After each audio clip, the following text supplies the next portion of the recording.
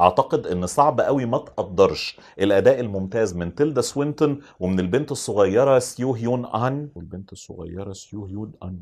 سيو هيون أن التي قامت بدور ميجا سيو هيون أن اللي قامت بدور ميجا ومن البنت الصغيرة سيو هيون أن اللي قدمت أنا مش هلعب الكلام ده أنا هقول البنت الكورية الصغيرة وخلاص. البنت الصغيرة اللي البنت الكورية الصغيرة اللي قامت بدور ميجا سيو هيون سيو هيون أن. أن. البنت اسم أبوها اسمه أن. كابتن محمود بكر الله يرحمه كان بيقول الواد الكوري رقم ثلاثة والواد الكوري رقم تسعة وخلصت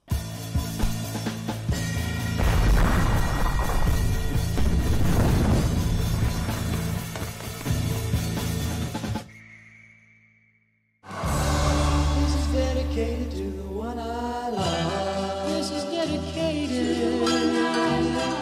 أحداث فيلم أوكجا بتبتدي سنة 2007 مع إعلان مهم للوسي ميراندو الرئيس التنفيذي لمؤسسة ميراندو لتصنيع الأطعمة. لوسي بتعلن عن فصيلة جديدة من الخنازير تم اكتشافها وبيتم تطويرها عشان تبقى مصدر للحوم النقية واللذيذة والصديقة للبيئة. ومن أجل الحفاظ على السلالة بتعلن عن مسابقة لتربية 26 خنزير منهم في أماكن متفرقة في العالم عشان بعد 10 سنين يتم اختيار الأفضل ما بينهم في احتفال كبير. بعد مرور العشر سنين بنشوف واحدة من الخنازير اسمها أوكجا تم تربيتها في كوريا وكبرت لدرجة التعملق وأصبحت صديقة لبنت صغيرة اسمها ميجا. وطبعا ميجا بتغضب وبترفض لما بتتفاجئ إن مؤسسة ميراندو استعادوا أوكجا وعاوزين يرجعوا بيها لأمريكا. وبتنطلق في مغامرة مليانة أحداث غريبة ومثيرة عشان توصل لأوكجا وترجعها بيتها. فهل يا ترى ميجا ممكن تنجح في مغامرتها؟ وهل مؤسسة ميراندو ممكن تتنازل لها عن أوكجا؟ فيلم أوكجا جذب اهتمام إعلامي كبير بسبب كونه في الموجة الأولى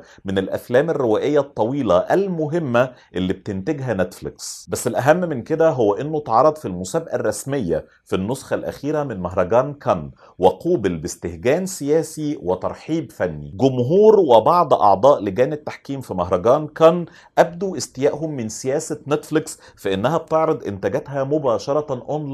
بدون احترام فترة العرض السينمائي. ومع ذلك محدش قدر يخفي إعجابه بالفيلم وتم تكريمه بأربع دقايق متواصلة من التصفيق والتحية بعد انتهاء عرضه الأول. وعشان فيلم يبقى في بؤرة التربص بالشكل ده وبعدين يحصل على التكريم والاستحسان ده يبقى أكيد هو مش مجرد فيلم مهم اعلاميا هو كمان مهم فنيا. فيلم أوكجا وعلى غرار فيلم War for the Planet of the Apes بيتحرك على ثلاث محاور رئيسية. محور الفلسفة ومحور العاطفة ومحور المغامرة. الاختلاف هنا بس إن محور الفلسفة اقتصادي رأسمالي معاصر وإن المحاور الثلاثة مغلفة ببصمات الكوري بونج جون هو مخرج الفيلم وكاتب السيناريو بالاشتراك مع جون رونسون. أوكجا هو الفيلم الهوليودي الثاني لبونج واللي شاف الفيلم الأول Snowpiercer سهل قوي يميز بصماته سواء على مستوى الإخراج أو على مستوى السيناريو. بونج عنده قدرة فريدة على تقديم التراجيديا الشديدة والقسوة الصادمة على جانب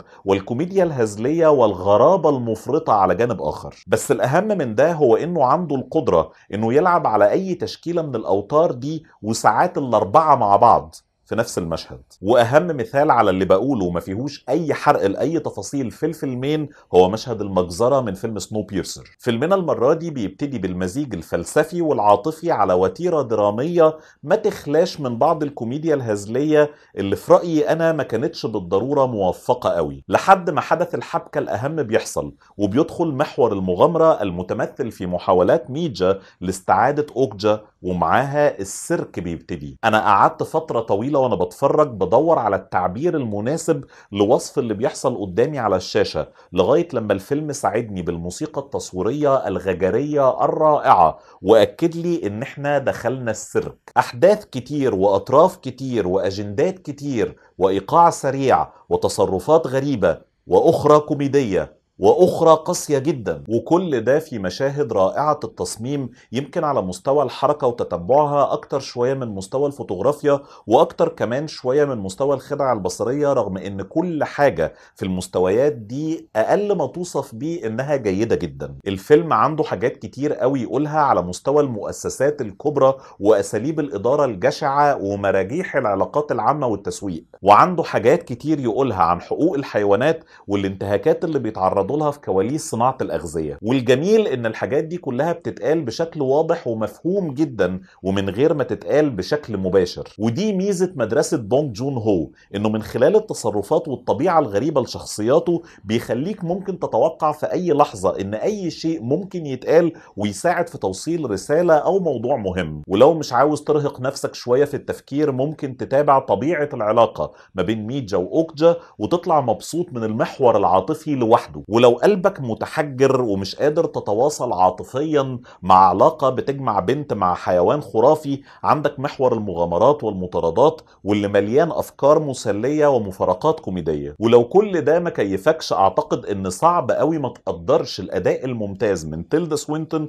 ومن البنت الصغيرة سيو هيون أن اللي قامت بدور ميجا. الفيلم يتميز بفريق تمثيل محترم جدا على مستوى الأدوار المساندة ويأتي بول دينو على رأسهم في الاجاده ولكن للأسف جيك جيلنهال دوره كان فيه تحميل زايد في عناصر الغرابة في السمات والتصرفات وأعتقد إن الهدف منها كان اضفاء مساحة للتميز في الأداء لتعويض ضعف الأهمية في الشخصية نفسها. ولكن النتيجة كانت مشاهد أطول من اللازم ومبالغات يؤسفني إني أقول إنها كانت مزعجة وأنا أصلا من كبار المعجبين بجيك جيلنهال. والحال ما كانش أفضل قوي عند جانكارلو إسبوزيتو اللي برضه شخصيته أهميتها ما كانتش كبيرة ولكن في بعض الأحيان تأثيرها كان محسوس وعموما يحسب له إنه ما اتجهش للمبالغات في الأداء واصلا المشاهد بتاعته ما كانتش كتيرة قوي. ولكن بشكل عام الفيلم حلو جدا وعجبني جدا ودفعني للتأمل وبعض صوره فضلت في ذهني لأكتر من يوم. مش هقدر أقول إني من المحبين لكل الأبعاد في مدرسة بونج جون هو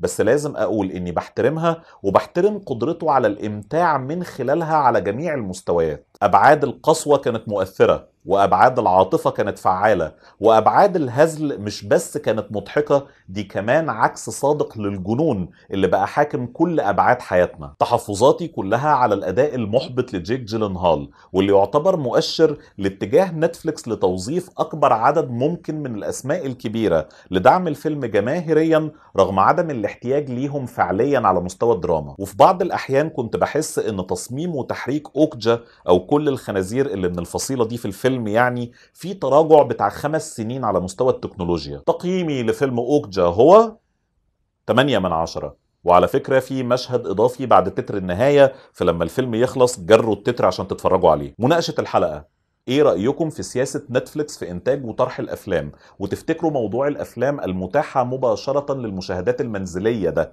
يمثل شيء إيجابي ولا شيء سلبي على مستقبل السينما؟ يا ريت تساهموا برأيكم في ال comments. يا ريت تعملوا share و like للحلقة لو عجبتكم. اشتركوا في القناة عشان تجيلكم الحلقات أول بأول. وتابعونا على فيسبوك وسناب شات وتويتر. ولو عايزين تتعرفوا على أحدث الحلقات اللي عملناها على فيلم جامد استنوا الشاشة اللي جاية. bye bye.